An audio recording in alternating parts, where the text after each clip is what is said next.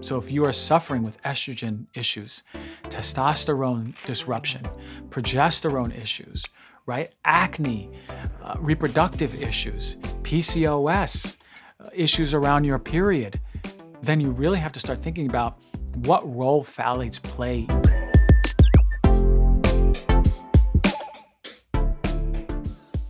All right, when it comes to fast fashion, you're gonna get cheap clothes. As I mentioned, they're stylish, they're trendy. You can get them shipped to you at whatever time from wherever it is in the world, usually overseas, but there's a cost to it. Now, I want to talk about this investigation. It was done last year and it was in Canada, and it was, it was a marketplace investigation. And what they did was they looked into companies AliExpress, Boohoo, Fashion Nova, Shein, Zaful, Zulily. And now these companies are notorious for fast fashion websites. They're super popular and it's grown over the years. Fast fashion pages are heavily celebrity backed. If you're driving over here in California, you get on the highway, you'll see a Fashion Nova billboard and there'll be some celebrities on there, celebrity singers and rappers. And it's crazy for me how much celebrities have gotten or how much money they have to spend for sponsorships. But they've had billions in sales. The global fast fashion market reached a value of nearly $68 million in 2020. It's growing, and for a reason. People like fast fashion. But the cost is in the materials and the exposures of which we and our children are coming across every single day when we're putting on these clothes. So, in this investigation, they had a few pieces from all these companies sent out to the lab, and the lab tested them for very particular chemicals. And what we saw was that some of these companies had major red flags.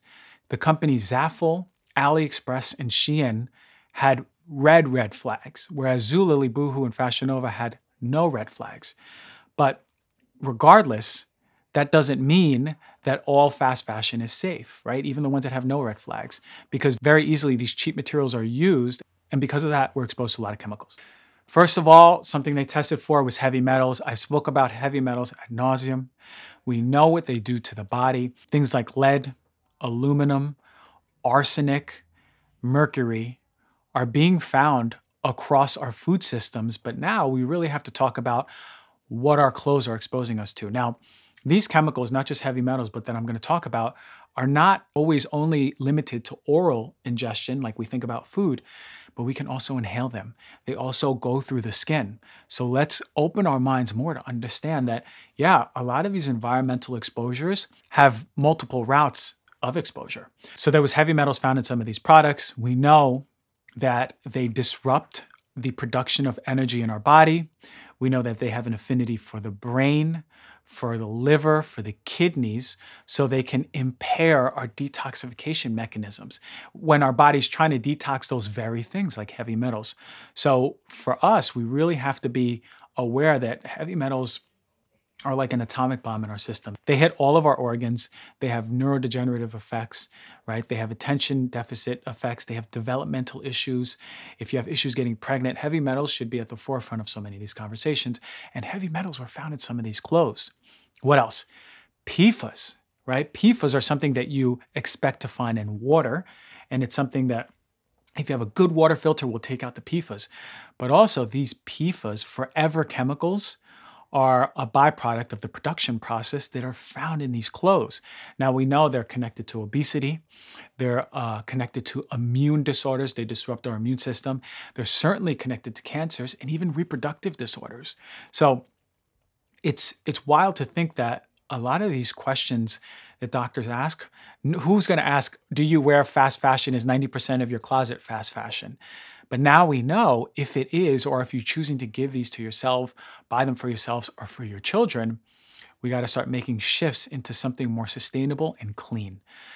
Really, one that was blowing up on a lot of these was phthalates. Now, you may have heard me talk about these multiple times, but phthalates are a group of chemicals that are used to make plastics more durable. Now, think about it when you have these clothes, a lot of them utilize plastic. A lot of them are cheap plastic. But instead of them being stiff, they have to conform to the body because they're clothes. So what they do is they make plastic soft, right? They're malleable. They conform to the body. And because of that, they utilize it in fashion. So what are the effects of phthalates? Well, they have short half lives. So, unlike the PFAS that I just spoke about, which stay in our body 10, 15, 16 to 18 years, that's why they're called forever chemicals, PFAS we actually pee out. Regardless, even if they have a short half life of one, two, three days, we're still exposed to them so much that we can find them in people's bodies, just like BPA, almost at any given time. But they target mostly the endocrine or hormonal system. So if you are suffering with estrogen issues, testosterone disruption, progesterone issues, right? Acne, uh, reproductive issues, PCOS, uh, issues around your period, then you really have to start thinking about what role phthalates play in your health as well as BPA. They have a negative effect on multiple organs, just like PFAS and heavy metals, right? They're non discriminate. And they typically manifest down the road as failed pregnancies, child growth issues, skin, respiratory issues. And a lot of people complain about the smell of these clothes when they open it up. And I would actually challenge you not all chemicals have smells, right? Heavy metals don't tend to have smells. Phthalates do. Um, BPA sometimes does. Formaldehyde does. So when you open up these boxes or plastic, if it has a strong smell, you can almost guarantee that it's off gassing these chemicals that are going to affect you, but it's not going to just be for that day. It's going to be for the life of the piece. So if you're wearing fast fashion and you're giving it to your kids, you know, I, I watched this video from Health Canada and there was a, a cute little purse made for children that was really high in phthalates, those plasticizers to make the, the, the purse malleable. But I mean, you put it, you give it to a little girl, at some point she might put it in her mouth, but still she's going to be touching it. It's, she's going to be rolling around, playing in it. And it's exposure, and we have to reduce exposure to reduce disease. And that bag that had the phthalates in it, super flexible, it was $13 and it was from Zaful. There was another bag, a little red purse, I'm pretty sure that was targeted for kids from Shein. It had 50 times the limit for lead in Health Canada. So you have to think about how the kids are going to be exposed to this. Again, it's not just oral, remember that. AliExpress has a raincoat. And what do raincoats do? They repel water. But the chemical that it repels water with is PFAS, just like Teflon, how it's water resistant or it's non-stick. It's the same idea. PFAS, if you've ever seen the movie Dark Waters, I would actually recommend you all watch. It's a fantastic movie with Mark Ruffalo. PFAS are those forever chemicals that make us sick over time.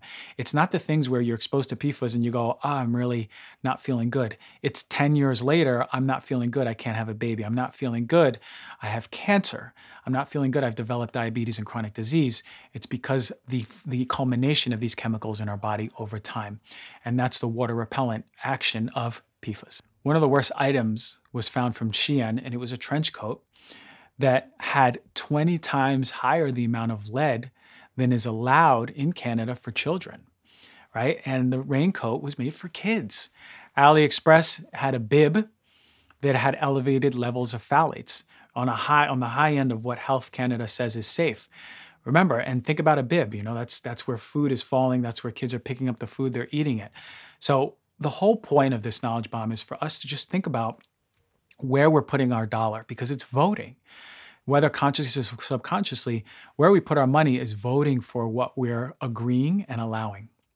And these fast fashion companies will always look to the cheapest products, right? For the trendiest stuff to get to you products that on the surface look, wow, I saved $10, I saved 20, I see even saved $30 on this.